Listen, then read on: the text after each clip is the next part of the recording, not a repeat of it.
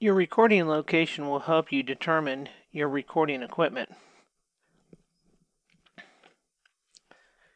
If you have the luxury of having a studio, you have climate control, you can really control the sound, the reverb. You also have most likely continuous power. Uh, you can use computers, you have sliders, you have monitor speakers. Uh, it's just a nice luxury.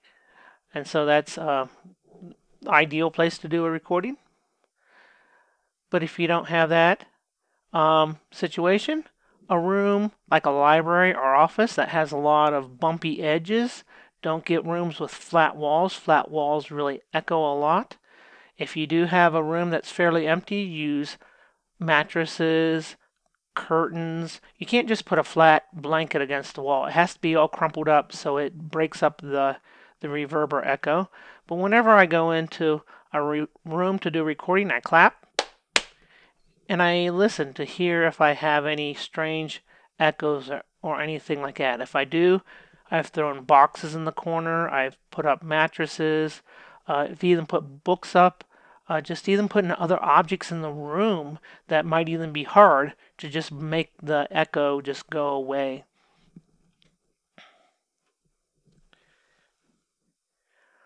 Also, uh, it might be a remote location. I would probably say I do the majority of my recordings out in the jungle. And so that greatly impacts. I have a lot more noises. I have things like chickens, birds, pigs, children, lots of different things that I have to deal with. So typically I use a head worn microphone in those locations, uh, but you'll have to work with that. So there's no one um, mic fits all solutions.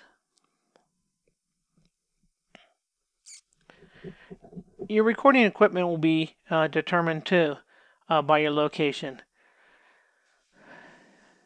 Digital recorders, cell phones uh, will work for you. If you're traveling a lot, you're doing small recordings, short recordings, uh, use devices like this. They have their advantages being small, they run on batteries, they can go a long time. You can take them to remote locations that easily fit into your pocket. Uh, someone without computer skills can use this. I've trained uh, people that don't have computer skills to be able to do recordings on this, and they're very acceptable recordings, and someone else does the editing.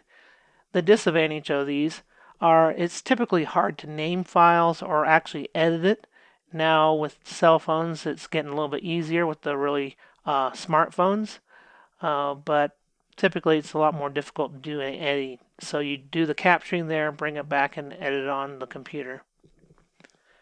Ideally, if you're going to be doing uh, large sections of recording, music, um, scripture, it's much easier to do it on a, a computer.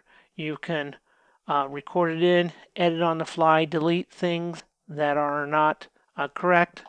Um, you can also add other things. We have a microphone here, but I like to use uh, preamps, uh, gates, and compressors before it even hits my sound card.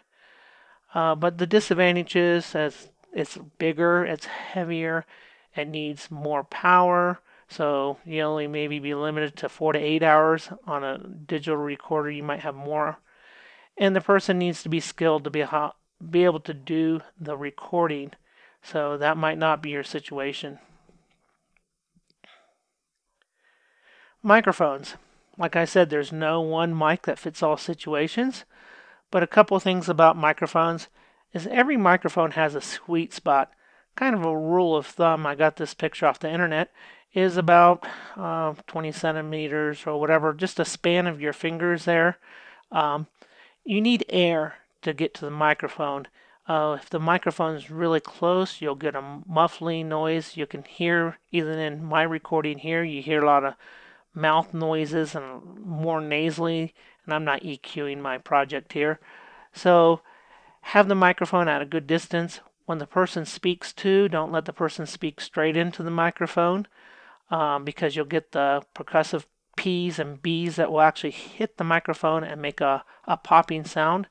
So you could use a pop filter, but we typically put the microphone up above the person's eye because they're reading down below.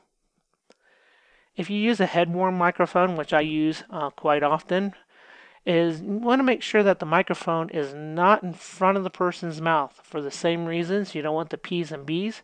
So I have it typically behind the corner of their mouth and probably two to three fingers widths away from the person's mouth. Make sure that uh, I have people that have big beards and mustaches quite often that uh, the mustache or beard is not rubbing on that microphone.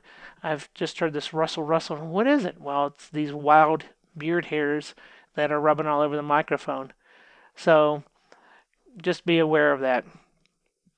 Here's a situation. We were in a studio. Uh, my friend was doing the recording here, and we're in our little studio here. There's pillows on the walls to kill, kill the sound. But if you look at it, we have the microphone here up above the person so it's not in their way and it's pointing down at their mouth. Yes, this is a little bit farther away, but it, we had a really quiet situation and this mic picks up quite well from a far distance. If it was a little bit uh, more of a dynamic mic, it'd have to be a lot closer to the person. We have headphones so that they can hear the people in the recording room so they can talk back to him and he can hear it. But if they do talk, it doesn't go into the bleeding, does not bleed into the microphone. We have a stand. You can see that his hands are off, so there's no rustling. So when he changes the pages, he'll read, he'll pause, turn the page, and then continue to read, and we just can edit out that pause. We have some foam underneath this cloth, so we don't, when he speaks, it doesn't have a unique reverb or sound off this. You'll notice also, uh, this is, we do this because we have the person up against the wall. This is a padded wall. Corners are not good. This is not the ideal situation, but we found that in our location that people would just move away from the microphone. Even we'd stick them in the middle of the room. Next thing you know, they picked up the music stand and the chair and they've moved back. They moved back. They moved back. They moved back. And all of a sudden, it's like, why does it sound so distant? Well, they're quite a distance away from the microphone. So we actually pin them in here so they can't move back any farther. And that solved a problem. Might create a couple other ones, but it's the better solution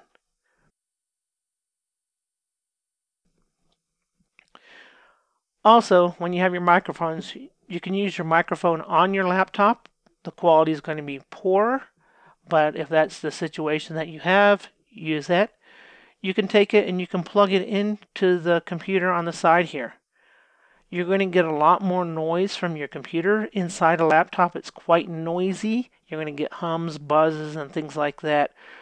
So if you're going to do a significant amount of recording, we suggest that you have some kind of external sound card. I'm using the Scarlett um, right now, this time of my life. I've used other ones. I always use headphones so you can hear uh, the recording well. When they're recording you can hear any noises that should not be there. Um, you just can do a lot better editing. Typically, I have one ear on, one ear off. And a key thing I want to make sure that you know is that make sure the people that are doing the narration, doing the talking, drinks plenty of water. My rule is that they have to drink at least 500 milliliters of water a half hour before they do the recording.